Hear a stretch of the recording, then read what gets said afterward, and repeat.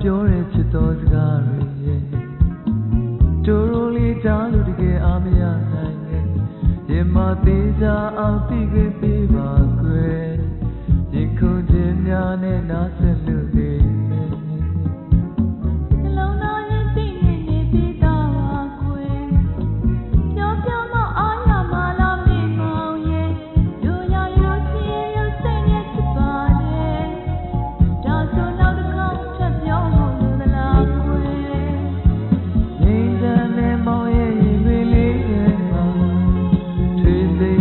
တော်ရှင်စီမဲ့ထောင်းစီခွဲ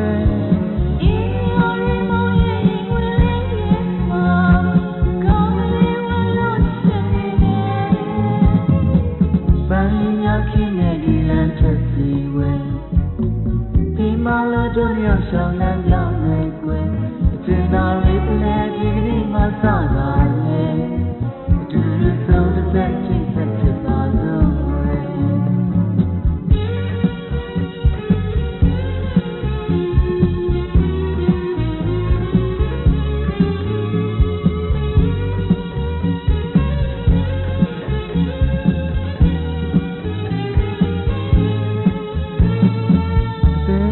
ပြောတဲ့ဖြစ်သောစကားတွေရဲ့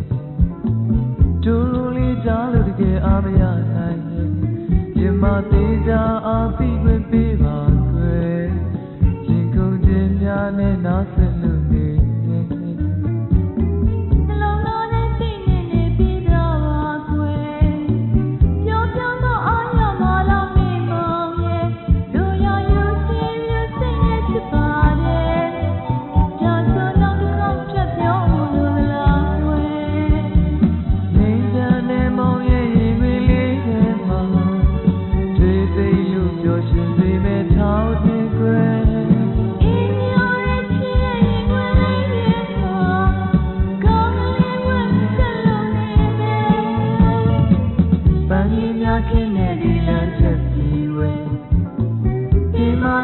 မြောက်ဆောင်လမ်းရောက်ွယ်ကွယ်အတနာရ